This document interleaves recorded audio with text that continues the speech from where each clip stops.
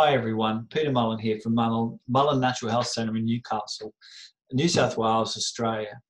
The world is or has gone crazy at the moment, and what a perfect time I thought to share with you um, a presentation that I've that's been very popular here in Newcastle, um, and that's natural remedies for how to deal or how to help with anxiety.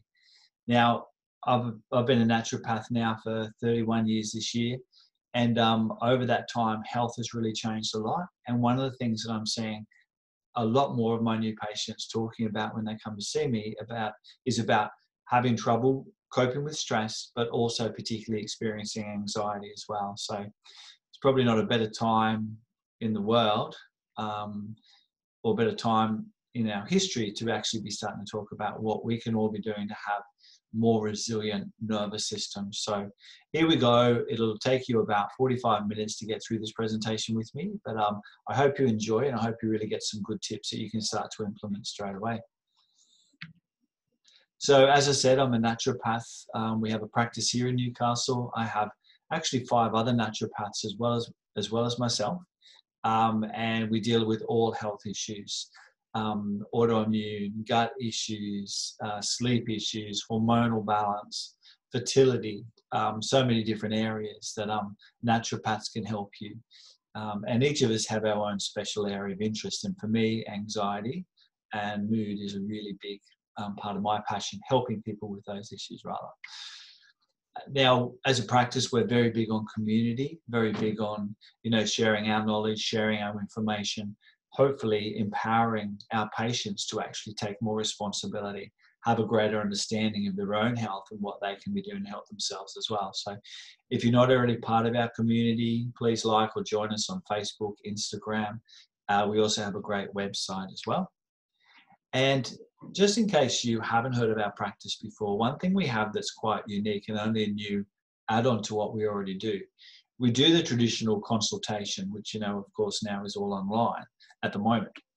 However, we also have what we call our herb bar. And a herb bar is a setup where if you have an acute situation, if you just want some immune support, if you just want some help with the kids with ear infections or urinary tract infections or any sort of acute health issue, you can call and speak to one of our qualified naturopaths at the herb bar, no charge to you, and they can use or prescribe some of our um, practitioner strength natural medicine. So it's a great way. It's a great add-on if you've not got the time or you, you this is new to you, this whole natural medicine sort of area. Then um, you know, please ring up, have a talk to one of our qualified naturopaths, and you can get some help straight away. And at the moment, we're mailing um, our natural medicines out, or we do have a pickup um, station in our office as well, outside of our office. So, yeah, but keep an eye on the the um, references and check it out. Now, my key my key take home message um, with this presentation is two things. Number one is that anxiety for me is a symptom or sign of imbalance in the person's whole body. So for a long time, we've been told that anxiety and depression are all to do with an imbalance of brain chemicals. And yes, there is definitely an imbalance of our brain chemicals. However, our whole health has an impact upon what's going on with our brain chemistry. So as naturopaths, we tend to take a more holistic view. And that we can be out of balance not only physically, but also emotionally, mentally, and even spiritually as well. And that it is definitely possible to recover from anxiety, um, improving both our resilience and our well being. So, anxiety is not something, I guess that's my main message. Anxiety is not something that you just have to put up with.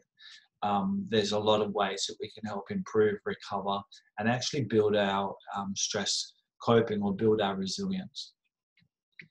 So this afternoon or today, I'm going to be talking with you a couple of areas. Are we in an epidemic? About what anxiety actually is, what I see as the causes of anxiety, my top five drivers of anxiety, and then natural remedies for um, anxiety.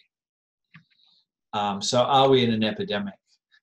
Anxiety is the most common mental health condition in Australia um, on average, one in four people, one in three women, and one in five men will experience anxiety.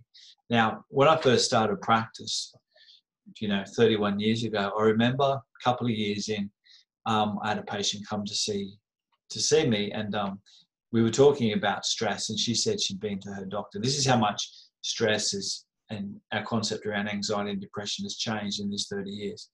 So she'd been to a doctor telling him that she was going through a really stressful period with a whole heap of things going on. And back then, his answer to her stress coping was he said, Have you ever thought of taking up um, uh, cigarette smoking? So, you know, we've come a long, long way from understanding that, you know, stress is so much more than um, yeah, stress and anxiety is so much more than you know what it was thought to be. Um, and as I was saying earlier, like a lot of my patients, when they walk through the door, new patients particularly, are all um, listing anxiety as one of their, their health concerns. So, in a 12 month period, over 2 million Australians will experience anxiety. Um, and, you know, who's predisposed towards anxiety? Research suggests that people with certain personality traits are more likely to have anxiety. Um, so I'm a little bit in this personality trait as well, perfectionist, anal about things, control freaks. Um, I personally don't like change, which is unfortunate for me at the moment because there's a lot of change going on.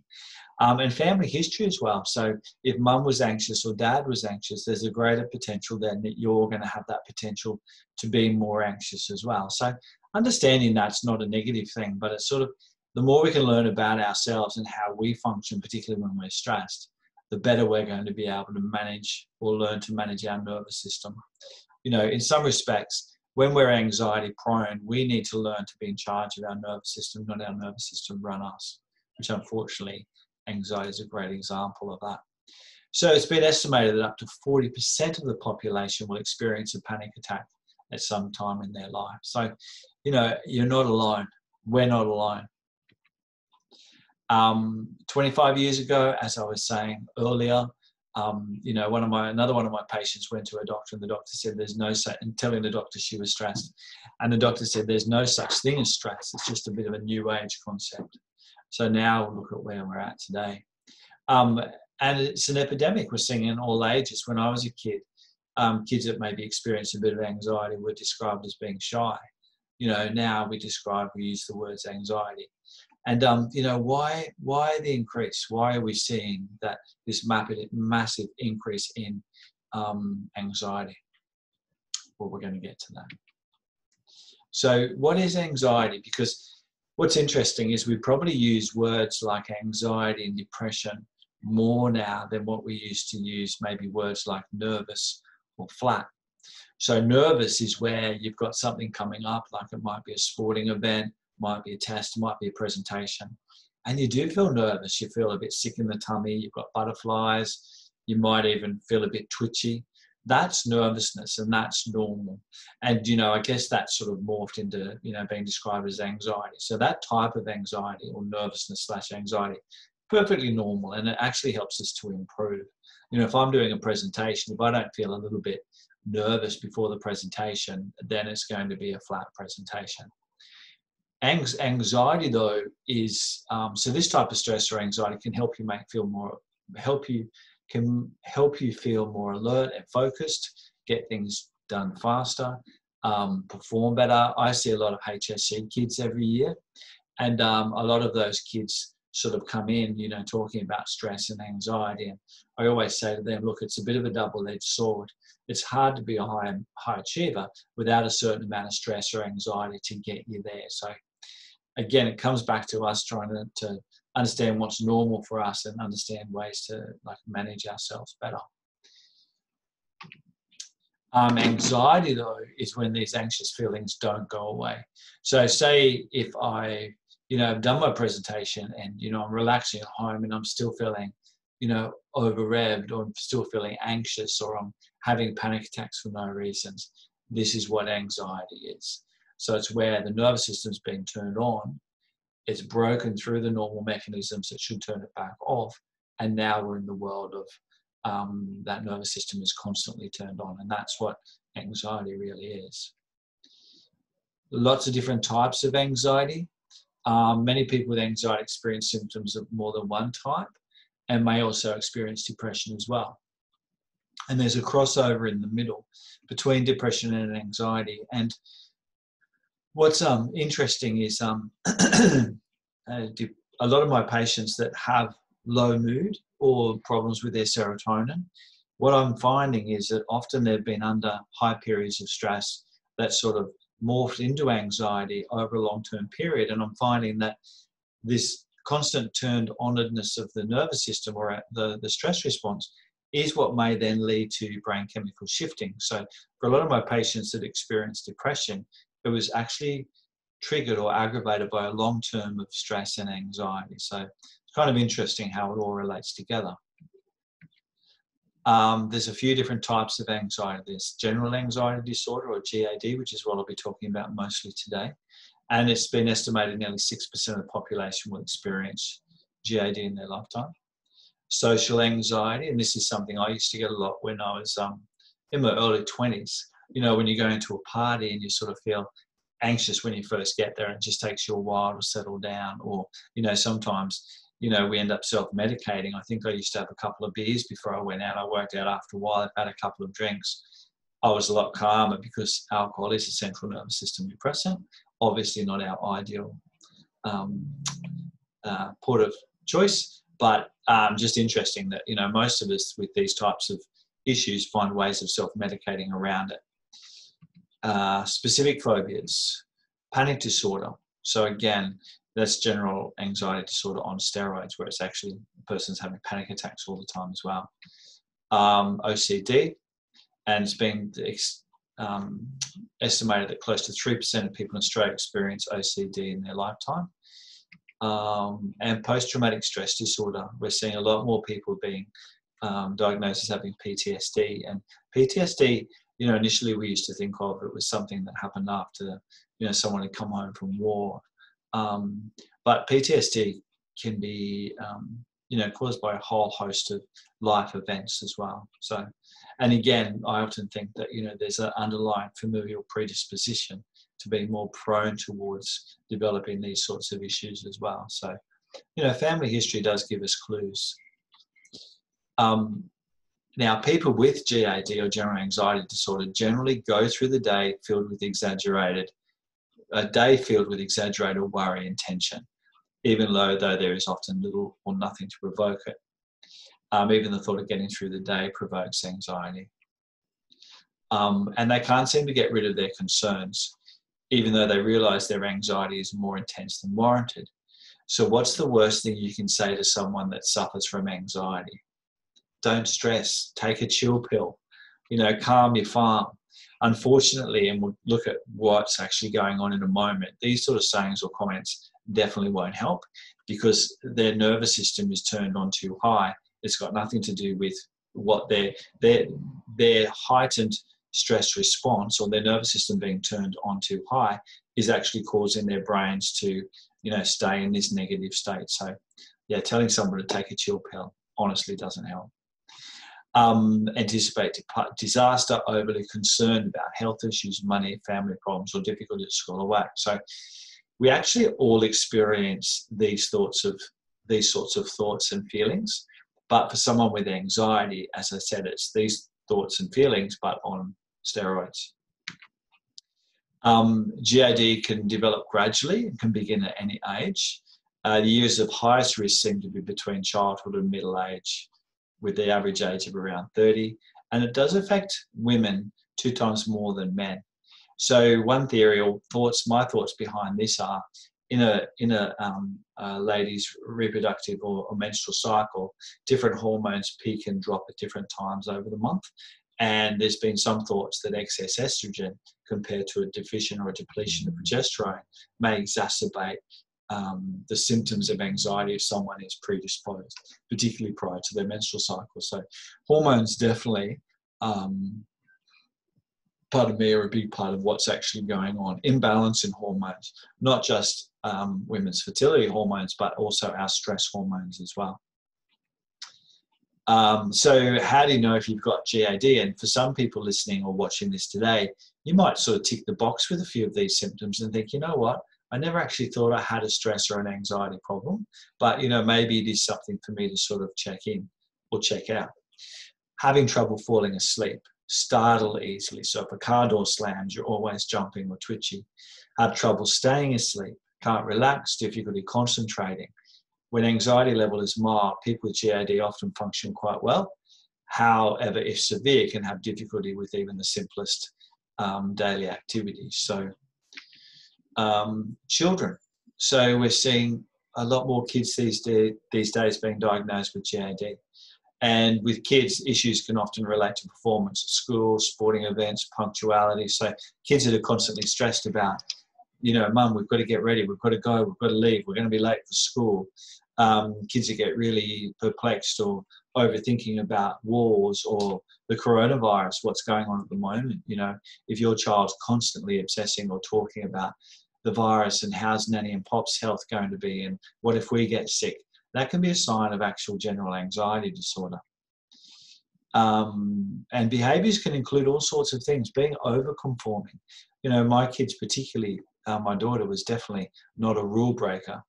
Um, so kids that just can't can't even think about the concept of breaking rules or being late or being seen as being wrong, um, that can be a sign of elevated stress hormones or anxiety in your child. Being a perfectionist, being unsure of oneself, needing to redo tasks, um, seeking approval and assurance from um, parents, uh, teachers, siblings, or friends. Um, so yeah, so all sorts of clues and tips there of what um, where you might be seeing this in your kids. So if you think your child's got an issue, um, definitely talk to someone about it because there's a lot we can do to help. So what causes what causes anxiety? So it's definitely, definitely not simply a chemical imbalance or disorder. Some people are definitely more predisposed. Um, if you come from a family of people that are fast nervous system types, always busy, always on the go, uh, if you come from a family history where you know there is a lot of anxiety or depression or issues, then you may well be more predisposed. So as I said before, it's not a negative, but understanding that helps you understand. Well, okay, you know, I can have a friend going through the same stuff, living the same lifestyle as me, but they're possibly never going to experience anxiety. Whereas me, you know, I'm going to be more predisposed because of that family history. Um, and for me, anxiety really is a sign of your a person's or your whole health being out of balance. And basically, I think of anxiety as an overactive nervous system or overactive stress response. And it's basically an exaggeration of what we call or what's called our fight or flight response. So, from my perspective, you know, an, anxiety is a, um, a normal response of the brain and the nervous system that's gone haywire. So this fight or flight response comes from a primitive part of our brain, of our brain, and it comes from the reptilian part of our brain actually. So it's a it's um it's something that's inbuilt in all animal species. You know, um, baby chickens have an uh, have a fight or flight response. Baby crocodiles, like all animals, have this. All animals have this fight or flight response, and it's part of our um, why you know we're all we're all still here after all these millions of years on the planet. So, in threatening situations, the body responds with a fight or flight response. So, say you're going for a walk in the jungle come across a tiger and you get that surge of adrenaline to either wrestle the tiger or climb the nearest tree. All good. Now that stress response should turn on roughly 15 or 17, 15 to 17 minutes and should then turn back off again through a, a process of negative feedback. So the stress response should turn on. We should deal with whatever we have to deal with and it should turn back off. Um, so in the jungle, you've wrestled the tiger, you know, climbed the nearest tree and then dangers out of your way, you've gone for a walk again.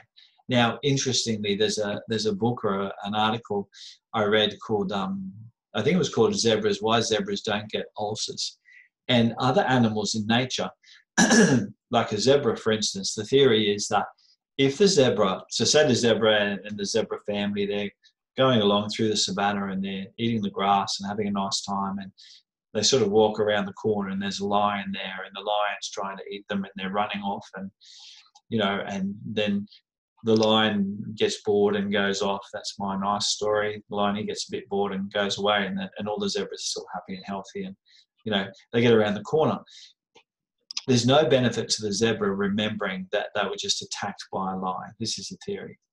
Because if they were to live in that constant state of, oh my goodness, every time I go around a corner, there could be another lion, then they would pretty much soon die out because that stress response would be heightened all the time. Like us humans, if we were on the savannah and we saw a, a lion or a tiger, so the idea is that zebras don't remember. They don't remember that they were just so highly stressed. They don't remember that, oh my goodness, at any time my life or my family's life could be taken by a tiger. Now, us humans, on the other hand, we would remember. So the next time we went around that same corner, we would think, oh my goodness, last time I was here, there was a lion, we nearly got eaten. We couldn't survive. We couldn't survive in that environment because we would remember every time there was there was this that fight or flight response was triggered. Now, the thoughts are that you know this is a, a, a actually an involvement of our brain that say same scenario we're in, living in the jungle and there's a lion that lives in this certain area the reason why we remember that the lion lived in that area is that we want to then warn the rest of our family and tribe to stay away from that area. So that stress response is actually part of how we learn and how we evolve as humans to sort of be safe. So you can see the difference. The zebra forgets that that danger is imminent because if we was to live in that constant state of stress, they probably would get ulcers. But us humans, we've evolved that we remember what happened and then we do things to sort of prevent that from happening again. So, as I said, it's a normal response of the brain. It should turn on and then it should turn off.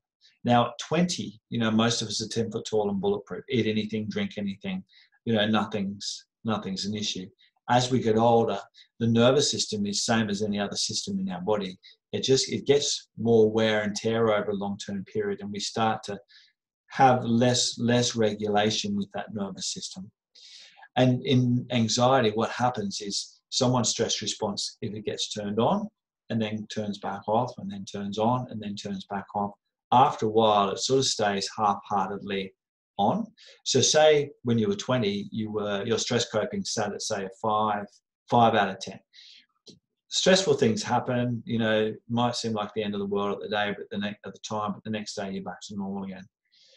What happens over time though is that with life getting busier, getting married, having children, mortgages, coronavirus, our stress levels, like someone turning up the volume on our car radio now until now, your new stress baseline is say seven or an eight. Now the problem is when you're a seven or an eight, it doesn't take too much extra for you to feel like you're hitting that glass ceiling again. You're hitting a 10 regularly now.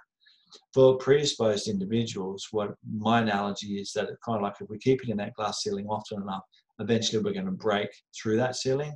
We're going to break that off switch. And now when stressful events happen, the anxiety, you're into that anxiety mode and it it's like a runaway train and then it might be just starting to settle again and then something else sets it off again so now we've got this miscommunication between our conscious nervous system and our autonomic or subconscious or our um, pre-programmed stress response kind of like the the analogy I often use is you know when um, people are having a bit of a, a um, a crash and burn or what we used to call a nervous breakdown, you know, often they're sort of sitting in the crying, corner crying, saying, What on earth's wrong with me? I can't stop crying. A little bit like me trying to tap away on this keyboard here and not getting any response on my screen and getting all frustrated and stressed about that. But the problem's not the keyboard or the screen. The problem is that the hard drive's crashed. So anxiety is a bit of an example of this, of where the hard drive is not communicating with the software well and the software is running the show in some respects. So part of recovering and improving our resilience with anxiety is we need to sort of reset that whole nervous system. If that, I don't know whether that's a good analogy or not.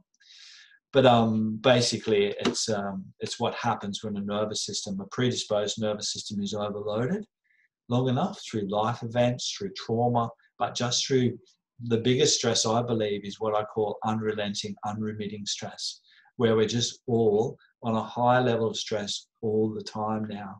And I think from there, it doesn't take too much extra to push us if you're predisposed into that next phase. So, you know, much as we all talk about, um, you know, learning meditation and journaling and de-stressing, there is a lot of relevance to that in that we've got to kind of calm the nervous system down so that the nervous system can can repair.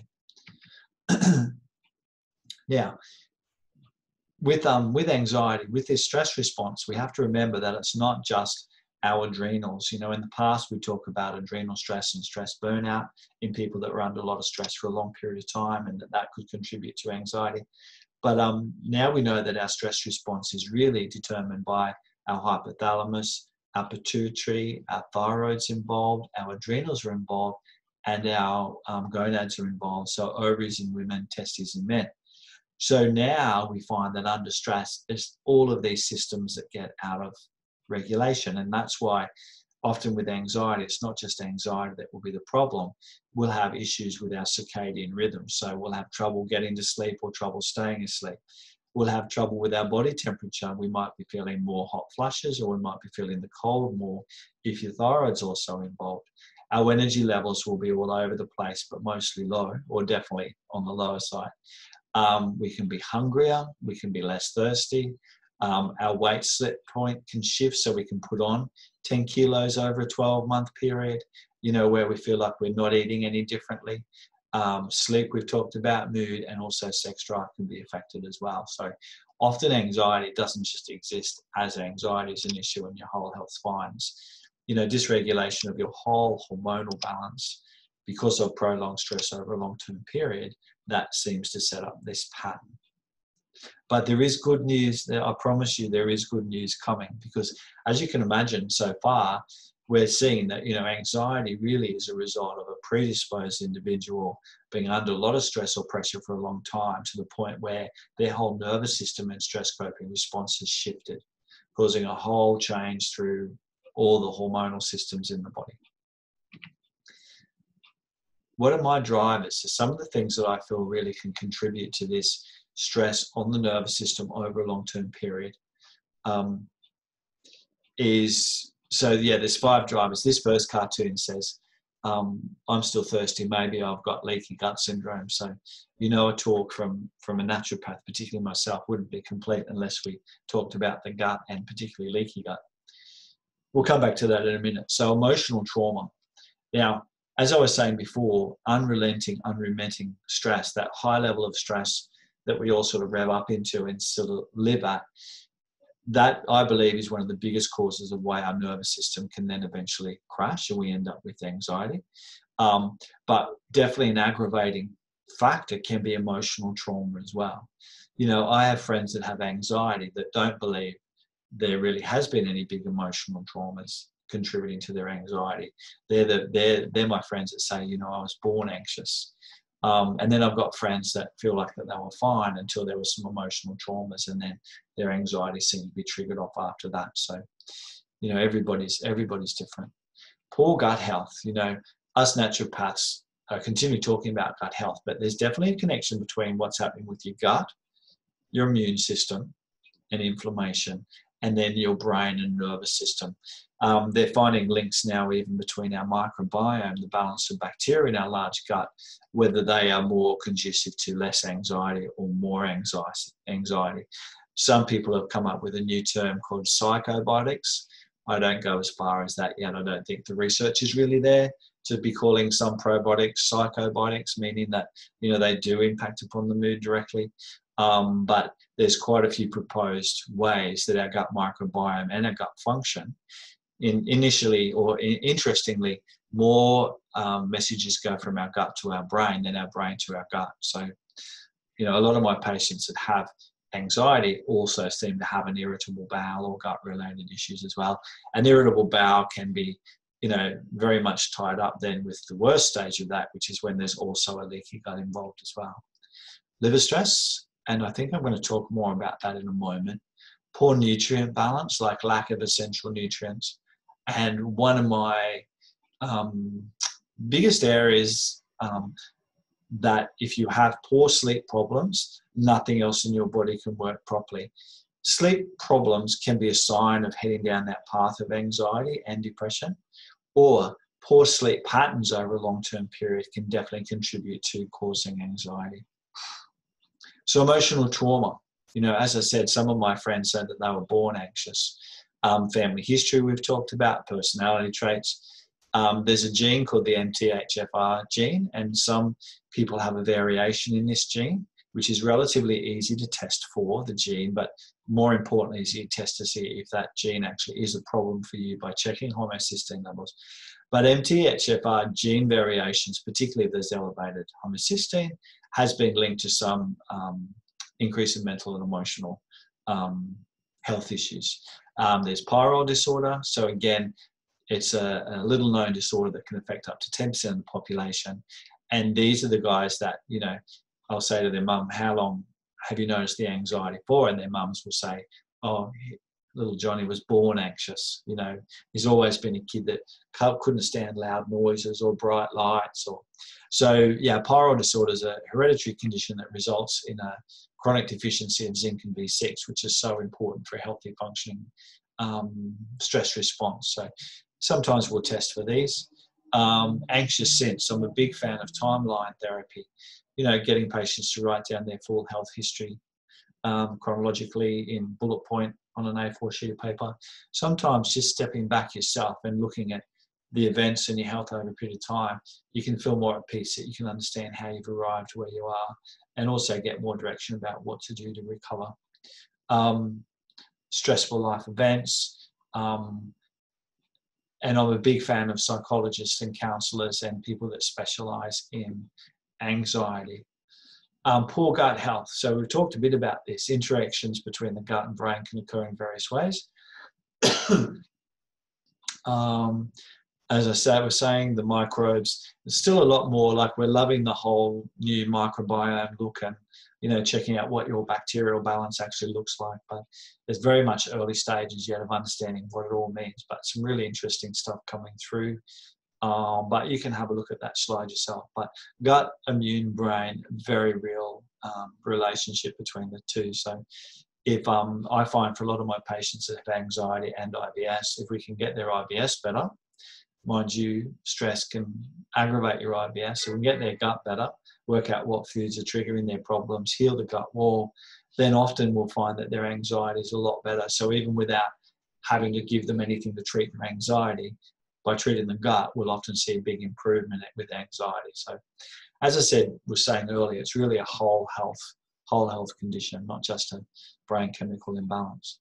A liver stress. So this is a really big one. So you know, patients will say, "What's your liver got to do with? What's my liver got to do with my anxiety?" And um, like one of the concepts that we have from a naturopathic point of view, one of the reasons we can live a long time is because the body has four filters: digestion, liver, immune, kidneys. When we're 20, 10 foot tall and bulletproof, eat anything, drink anything. Who remembers when they're 20? Well, some of you might only be 20 anyway.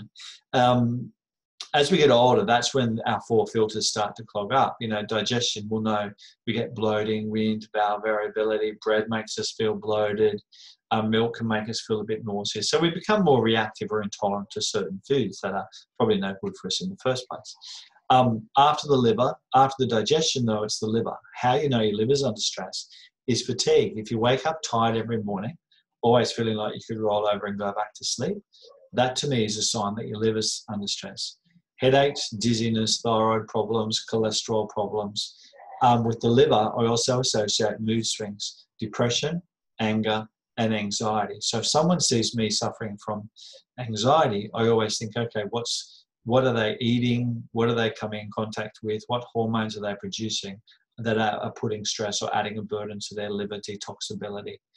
Um, so one of the the best things you can do if you're suffering from anxiety is clean your diet up, get onto a really clean, healthy eating plan, whole foods. Try and cut out alcohol, caffeine.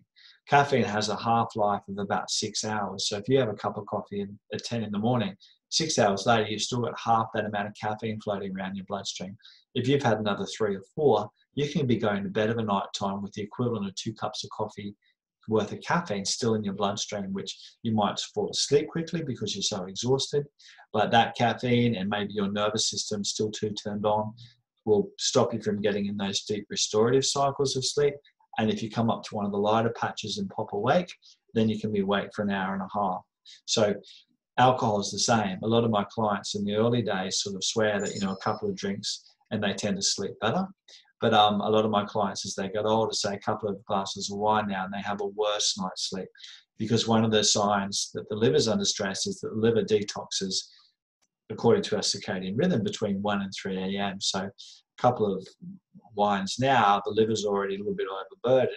You're going to pop, it's going to pop you awake when the liver's working harder between 1 and 3. So um, yeah, as I was going to say, or say in a little while, sleep quality is just so important with trying to heal and repair, restore your nervous function. Um, hormonal change as well. Again, the more challenge that someone has from a menopause point of view, often that's a sign that their liver is under stress. So, two signs that your liver is under stress. Number one is caffeine does upset you now more than it used to. One cup's fine, but two cups makes you feel more jittery and jangly. Um, and alcohol, you know, one glass of wine's fine, but two glasses give you a headache. Um, or if you find um, smells and perfumes um, give you a headache, that's a sign that your liver is under stress and that you need to do a bit of a detox or a cleanse and that will help your nervous system to function more smoothly as well. Poor nutrient balance. Magnesium, my number one nutrient um, for anything to do with the nervous system, helps with muscle aches and pains, restless legs, twitchy legs. Often a sign of being low in magnesium is if your lower eyelid flickers, um, which is also a sign of stress as well. So magnesium, awesome with anything to do with muscles. It's low in our soil. Uh, most of my patients are deficient how you know that you need magnesium rather if you take it and you feel a lot better for it then you should be taking it all the time or at least until your body's back in balance. Magnesium helps to increase gaba which is a calming neurotransmitter in the brain. It puts the brakes on the brain's activity um, particularly good for sleep issues and also um, things like or conditions like add zinc. So zinc another common deficiency that we see that i see a lot um, zinc also in good levels helps to raise GABA. And zinc and copper ratios need to be kept at a ratio of one to one for optimum mental health as well. So, with pyrrole, as I was saying before, often associated with a chronic zinc deficiency. But one of the ways we check or adjust dosages is we check the zinc, zinc to copper ratio. Um, B6, all of the B vitamins, definitely when it comes to stress and nervous system, are important. Um, but B6 particularly um, important for the production of neurotransmitters, serotonin, which is linked to depression, GABA for calming the brain, um, N-acetylcysteine, another nutrient that I love to do, love to use whenever we're talking about brain. Um, one of the thoughts or one of the new thoughts out about both anxiety and depression is that we're possibly seeing an increase um, production of inflammatory what are called cytokines or chemicals within the brain's own natural immune response. So the brain sort of sits a bit off center with the rest of the body, but some people a lot of people can actually get an inflammatory response gets triggered in their brain that then helps to or leads to shifting brain chemicals as well. N-acetylcysteine is the major precursor or a precursor to glutathione, which is one of the major antioxidants that helps protect the brain, and it's also anti-inflammatory to the brain as well. B12, important particularly if there's methylation issues, removal of heavy metals and healthy nervous system and brain function. And sleep, as I was saying before, sleep's probably my biggest thing. If you want to get a better handle on your anxiety, get your sleep sorted, find out what's going on for you. So many of my patients will say, you know, I've had such a big day today, I'm so going to sleep well tonight. But they're often their worst night's sleep because they've been overstimulated. There's too much cortisol. There's too much stress hormone. It's kind of like they've had 15 cups of coffee a day and then go to go to sleep, but they've got all this stress hormone floating around, and maybe their liver's not clearing it as effectively as it should. So now they try to go to sleep, and their nervous system is just buzzing. Um, helps to reset the body clock. There's some great research going around about circadian rhythms and how to reset pardon me, your circadian rhythm. So check out some great work by a researcher called Sachin Panda. Um, uh, cortisol and sleep patterns. You know, if we overstimulate that, cortisol is our long-term stress hormone. If you have a pattern of winding down of a night time, but if you get second wind and come back, your nervous system turns back on and you're staying up too late, you've got a dysregulation there with your cortisol. Um, a really neat test that we do with some patients is a salivary cortisol profile, but not just the profile. We test get a salivary sample of it's called the cortisol awakening profile actually, So we test your cortisol by checking you spitting into a, a tube. So we test your salivary cortisol.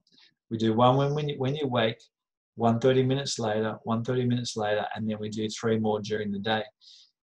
Determining or depending on the pattern, we can see from that response whether your nervous system is overshooting, whether you're producing too much cortisol, whether you're revving up at the night time where you should be turning down. Because you want your cortisol levels to be right down at a night time about 9 9.30 is the ideal time to be asleep by because the cortisol needs to be right down for your brain to then produce melatonin. And melatonin is the chemical that puts us in those lovely deep sleep cycles where we restore, where the cerebral spinal fluid flushes over the brain and washes out toxins that cause aging and Alzheimer's and dementia. So sleep is by far and away for me my number one area to really try and get sorted. Teenagers and sleep patterns, what a shocker. You know, I know my kids, particularly um, Matt when he was younger, real big issues with you know getting revved up of a night time um, and staying up way too late. And seriously, the ideal time to be asleep by is 9:30. And how you know you've had a good night's sleep is when you wake up in the morning before your alarm goes off. You wake up and it's almost a surprise to you that it's morning. If you wake up every day and you can describe what your quality of sleep has been like, you're not sleeping well. So get some help. Video games, social media, getting onto screens. You know, we we give our kids all this advice, but who here as an adult, you know, will be lying in bed of a night time and checking out Facebook one more time, or so. Um, and yeah, so and so many of my little kids too are starting off life already with sleep issues, and this is where melatonin can be a great help. So there's a lot of really great natural medicines that can really help to reestablish sleep patterns. But if you get nothing else out of this presentation that, of where you want to start to work, work on the sleep as I said, sleep can be a, a, um, a causative factor or it can be a sign of anxiety and depression as well. So, so this is just a, um, a bit of a mind map that I did up, just showing you some of the ways that things can add to it, add together to end up down that road of anxiety. So this is seven-year-old Emily, highly anxious in social situations and new environments, um, fussy eater, so there's going to, you know, there's going to be nutritional deficiency. Who doesn't know kids that are um, fussy eaters these days? History of bedwetting, which can indicate low B12 and magnesium. History of allergies to food and pollen. So we know there's inflammation. Nightmares three times a week, stress, anxiety, and poor sleep patterns. Frequent ear infections and a history of antibiotics. So already in that sort of profile, and it's not an uncommon profile for what I've seen, what I would see, we can see that there's um, up here, there's sleep disturbance, um, there's dysbiosis or gut imbalance from history of antibiotic use. So we've got poor sleep, uh, imbalance of good and bad bacteria. We've got the nutritional deficiencies from being a picky eater. Um, we've got reduced cofactors there to produce the neurotransmitters in the brain. And with that um, uh, allergies, we're getting the release of inflammatory mediators, mediators, more inflammation that may also affect the brain as well. So, coupled with a family history, you can see that these things are going to be adding together. 19 year old male Sam, and so teenagers and the young young men particularly, but women also that I really worry about. Um, this age group are just so susceptible to, you know, so many things these days. You know, drugs, alcohol, um, just the social pressure as well. So Sam, history of lethargy, fatigue, anxiety, and depression. Doesn't eat breakfast. Um, trying to you know be a bit buff, so has his tin tuna with potentially high levels of mercury, boiled eggs, protein shake, popcorn, chips, and sweet potato. So nothing green at all. Poor sleep habit, stays up late playing video games, sleeps in late, casual cannabis user. So a little bit of an accident waiting to happen, young Sam, but again, it's our culture and our society that's given the kids this these patterns, I'm sure. So with Sam, we're looking at definitely blood sugar down to the left of the slide, blood sugar, skipping meals, which, you know, some kids, if they don't eat, are more emotionally reactive, and that's going to contribute to anxiety. Down to the right hand side, we've got sleep disturbance and poor sleep ha- habits. Leading to an overactive hypothalamus pituitary adrenal axis, increased inflammation, etc., down to anxiety. We've got the recreational drug use, which leads to increased oxidative stress, particularly in the brain, and can then lead on to um, um, anxiety and poor stress response. To the left, we've got nutritional deficiencies because he is a picky eater. Um, and then we've definitely got you know low levels of things like zinc and low selenium. So we're getting increased oxidative stress. We've got possible mercury exposure from eating tuna every day. So you can sort of see that a lot of the resilience that Sam might be getting from his diet, from his lifestyle to help cope just with normal stress, like his diet and lifestyle is contributing to a lot of his um, health related issues before we even look at what else is going on in his world outside of what that pattern that is in. And 29 year old Sarah. So 29 year old Sarah is probably what I see as 22 year old Sarah. Um, a lot of young kids that, you know, like young girls I'm seeing coming to the office with that have maybe been on the pill for quite a few years is a bit of a concern for me that have been diagnosed as having anxiety, depression, and very often have gut issues as well. Um, and always perfectionist and high achiever. Back to Sarah, high stress job, partner in a law firm, eats a vegetarian diet, so potentially low, going to be low in B12, zinc, and iron. Um, taking the pill for 10 years, this means that the patient's not ovulated through this time, so we've got excess estrogen, and a history of gut infections when traveling overseas and digestion has never been the same. So again, if we look at the different areas, like even being on the pill for a long period of time can lead to elevated copper levels. And again, copper and zinc, the ratio between the two are important when we look at both oxidative stress but also emotional responses. When someone's taking the pill for a long period of time, pharmacists should always hand out a good quality Wimmer's multi and a probiotic as well because the pill long term will reduce levels of things like folate, B2, B6, C, E, magnesium, selenium, and zinc um, as well as can the, being on the pill continuous can upset the balance of good and bad bacteria in the gut. Um, again, increase oxidative stress, reduce brain chemical production and anxiety. Um, the oral contraceptive pill can also block progesterone production, um, leading to inadequate allopregnanolone production, uh, reduced glutamate inhibition, less GABA stimulation. So being on the pill can directly increase someone's potential towards being more anxious as well.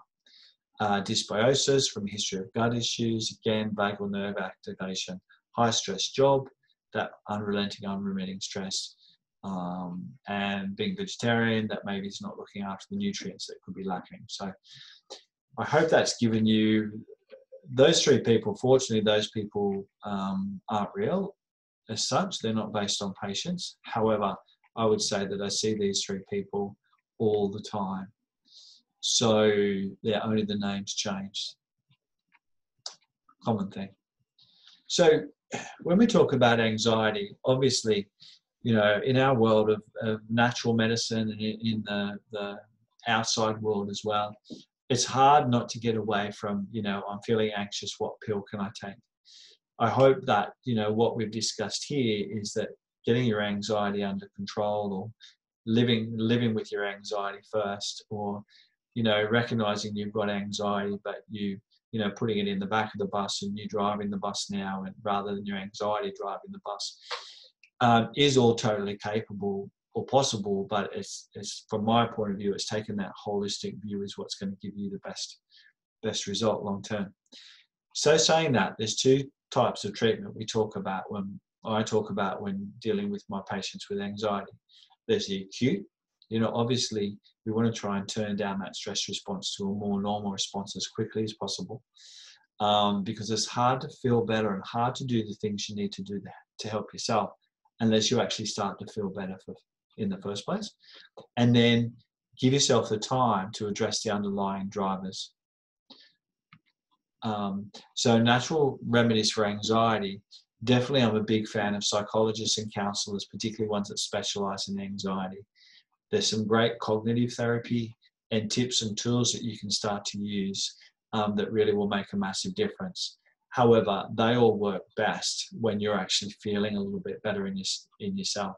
Like the hardest time to help yourself with cognitive Therapy is when you're actually in the middle of a full blown, you know, panic attack. It's a bit like the horse has already bolted. So sometimes you've got to feel better to be able to then help yourself more. Whole foods diet, can't emphasize enough, you know, getting your diet as clean as possible. Um, exercise, exercise increases the production of positive endorphins. Like you'll feel, like a lot of people suffering with anxiety, exercise is a great way of burning that extra nervous energy up.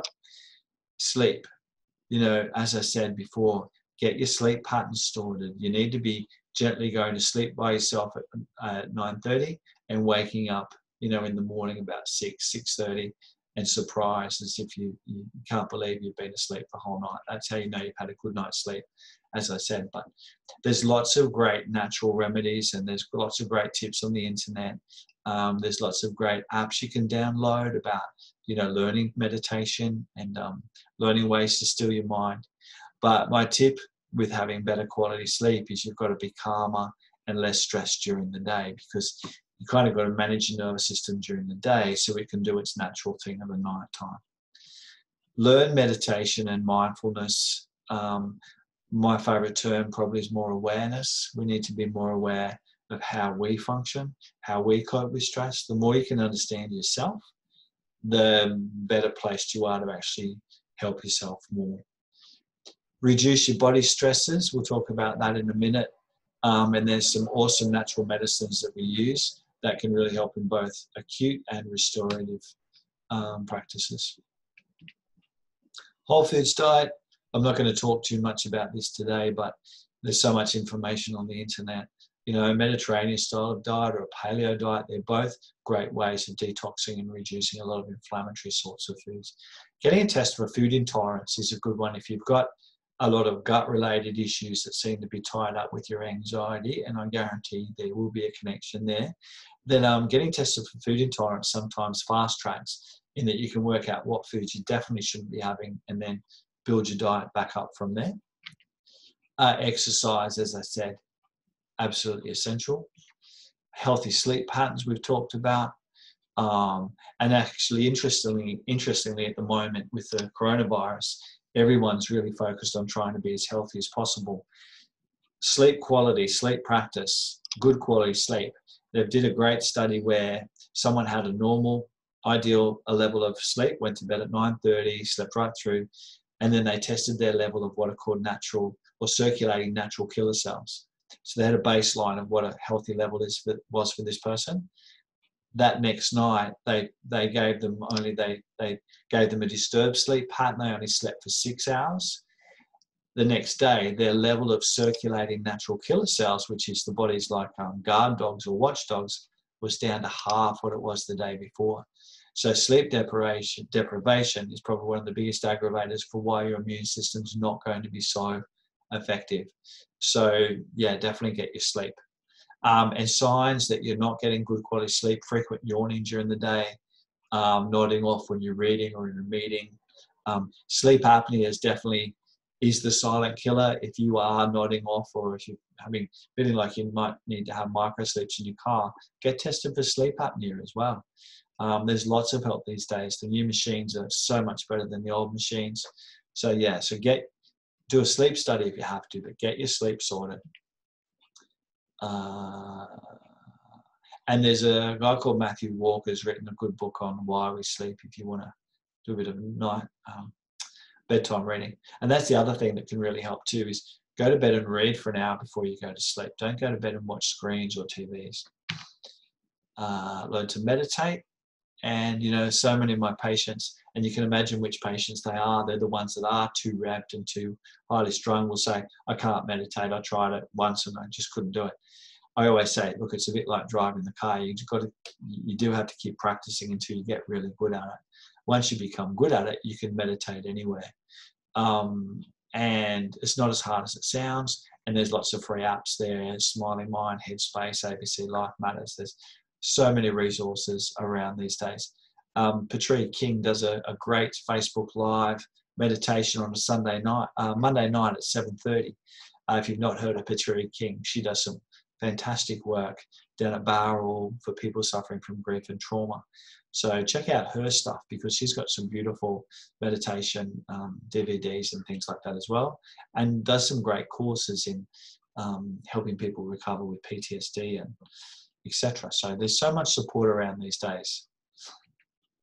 Reduce body stresses. So get your health sorted, fix your leaky gut, try and dietary wise reduce toxins, do a bit of a liver detox or a liver cleanse, work out what foods you're intolerant to, um, make sure that you're um, treating any underlying chronic infections um, because you want to you want to make sure your immune system's working really well. So many of my patients that, that I see that have chronic fatigue, you know, the four pathways to chronic fatigue for me are adrenal stress or that stress burnout, um, chronic gut issues, irritable bowel dysbiosis, leaky gut, um, chronic infections, you know, people that have had glandular fever, you know, a lot of my patients with anxiety have also had glandular fever. So I think there's a bit of a connection between um, what we call a bit of a viral load or infection load that someone's carrying. So we've got to try and sort that out as well. And then the fourth aggravator seems to be toxins. You know, in the past we talked about heavy metals. Now we're talking about mold and mold toxins. With all the floods and the water damage, etc., mold is a bigger problem these days than people realize. So I've had patients with anxiety that when we sorted their mold problem out, their anxiety cleared. So try and find out what is causing your body to be stressed and go about um, remedying that.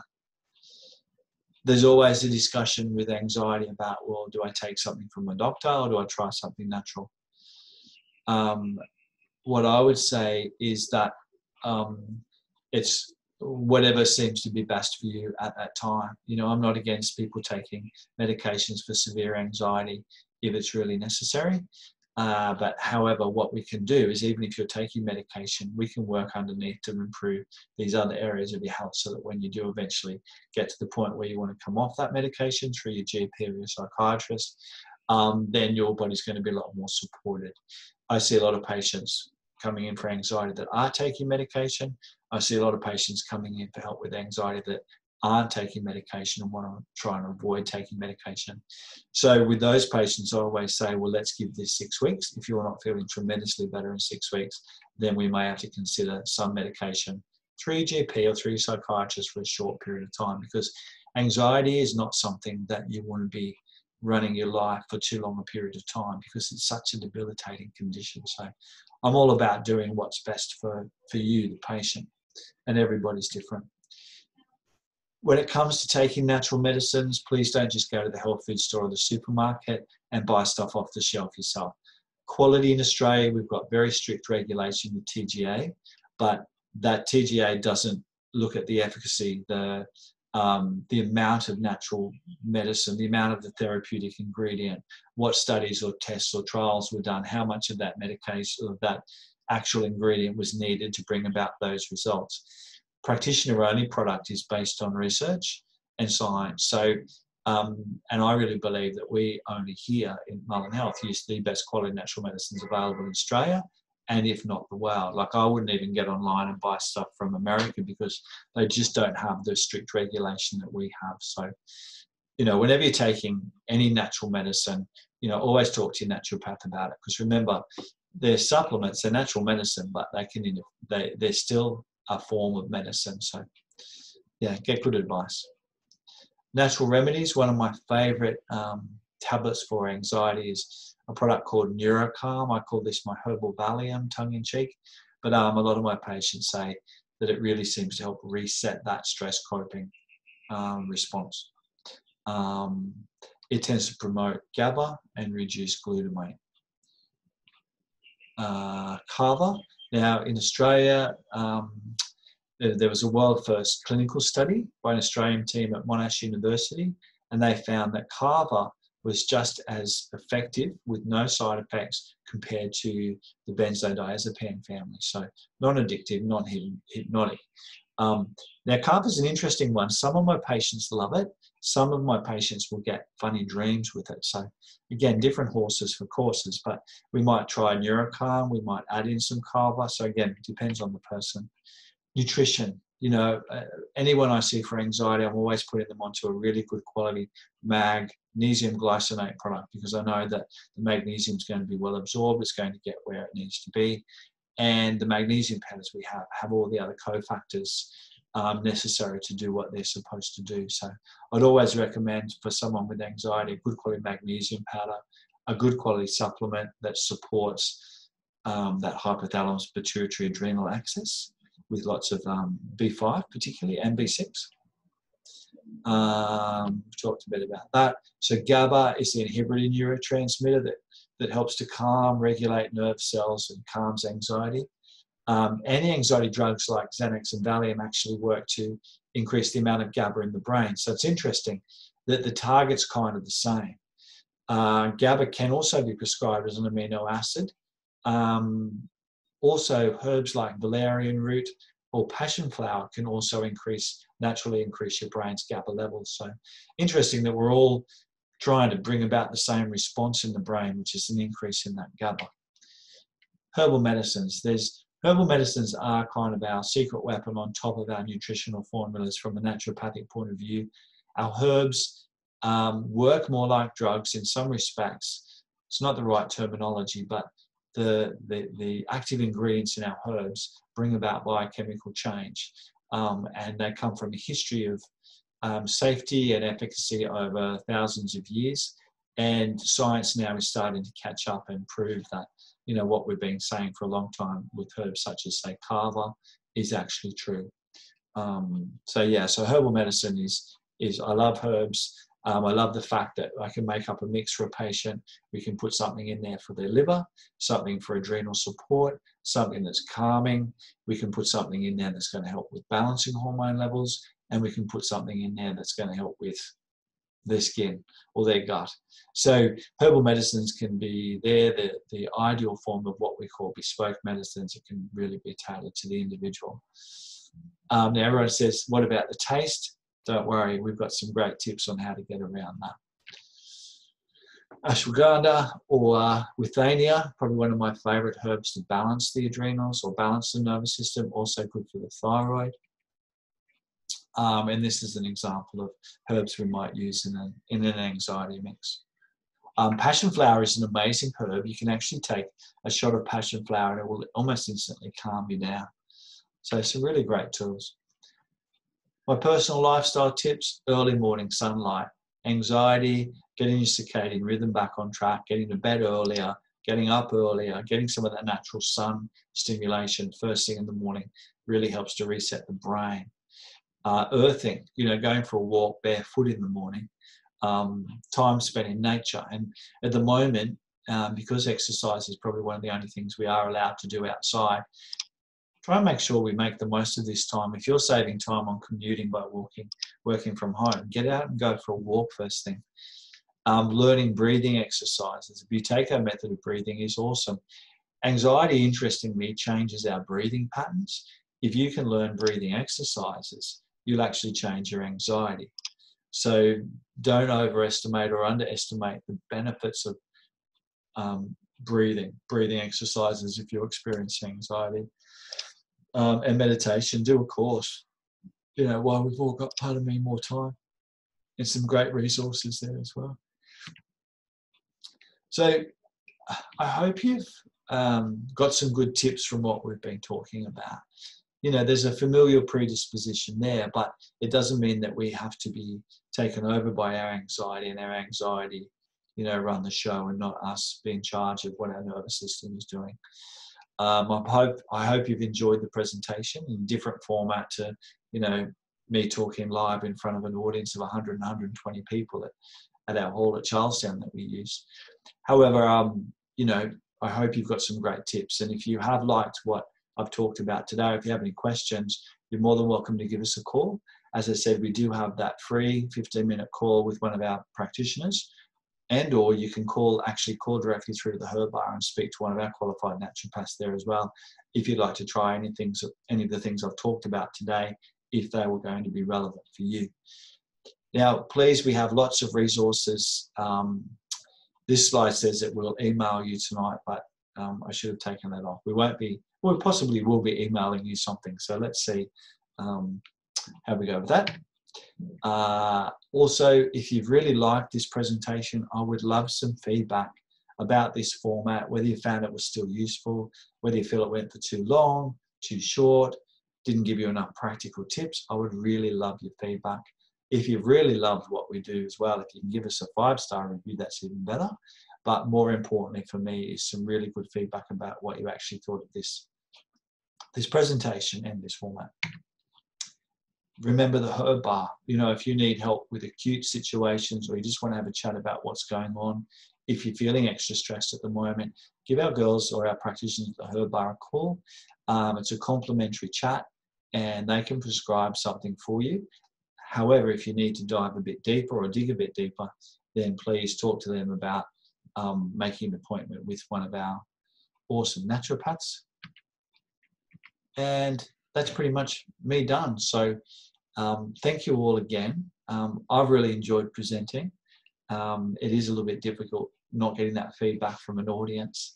However, um, as I said, if you've really enjoyed um, this presentation, please let me know. And if we can be of any help to you at all or your family in the meantime, please give us a call. Take care, everyone.